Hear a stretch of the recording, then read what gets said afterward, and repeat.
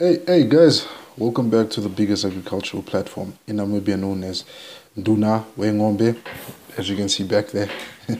so for those who haven't yet subscribed, I'm still wondering why you haven't subscribed.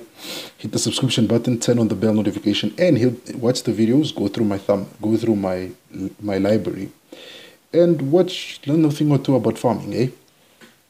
Nduna Wengombe. So today, on the 9th of May, 2022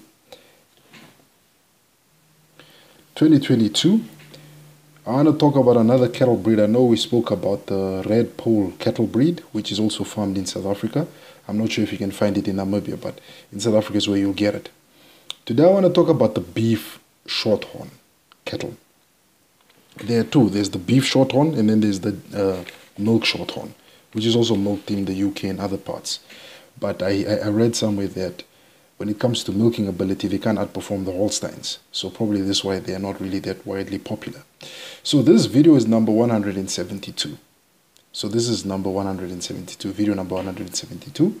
And we have thus far got 955 subscribers. I just want to say thank you very much to the men and women that subscribe to the channel. And not just subscribe, but actually watch the videos. Um, and and, and, and, take time to comment you know whether it's a negative comment a positive comment we'll take it on the chin and we'll and i'll work towards improving it. You know as i said i, I started this journey in 2014 it's been what eight years on youtube? And uh, we are there. We, we, we're not yet at the top of the summit but we're reaching at least um, a, a, a mile from the ground where we started. At the bottom we are a bit higher than what we were yesterday so thank you very much to the ladies and gentlemen that have been hitting that subscription button, watching the videos, liking, commenting, and sharing my videos, getting them out there to the bigger agricultural family out there in the world, whether it's in South Africa, Namibia, the US, Europe, and even in Asia. I had some comments coming through from guys in Asia and in the greater Africa too. I've had farmers from Uganda, Kenya, and also uh, one from uh, Ethiopia, from a region of Borana who came through and asked me some questions and asked me to do some videos. So thank you very much to those people. But without any wasting time, as you guys know, let's get into the video. As you guys know, I'm never writing so I got my Trusted notebook with my unflattering handwriting. Let's get into the beef shorthorn cattle. As I said, there are two. There's the dairy, there's the beef. So let's get into this video. Beef shorthorn, let's just set that proper. Uh, beef shorthorn cattle are part of, of beef production in South, in South Africa and developed in the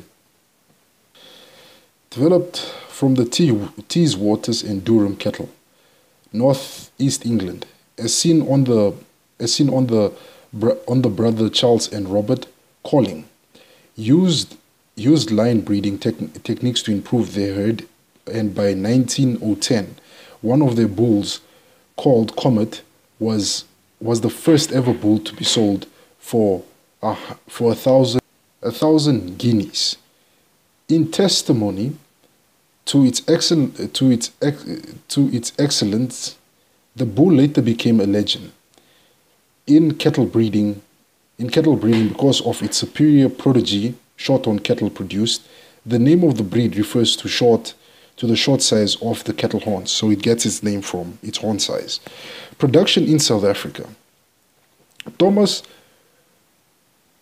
Thorlip, Thomas Thorlip imported the first shorthorn into South Africa in 1861, and the Shorthorn Cattle Breed Society was established in, 19, in 1912.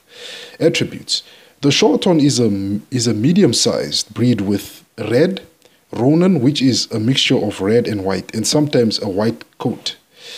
The size of the cattle are dependent on the production environment, and as this is a dual, as this is a dual breed, the cattle may be used for milk or for beef production. So it's another dual purpose breed.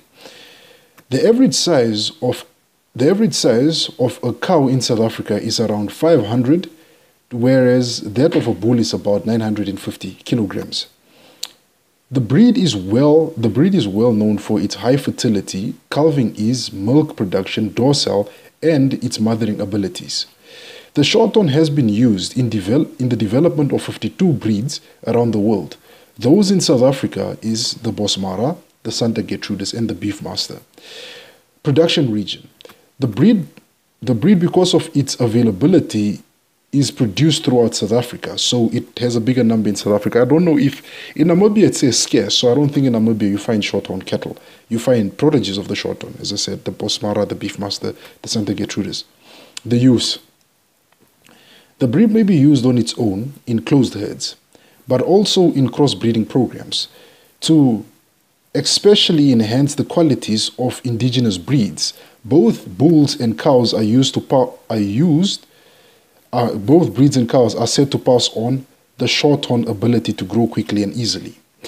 The shorthorn cows are able to produce quality weaners with average 250 day weaning weight of about 200, 203 and 205 for bull and, and heifers, cows respectively. Yearling weight is about 488 kilograms. Average daily gain is about 1.5 kilograms.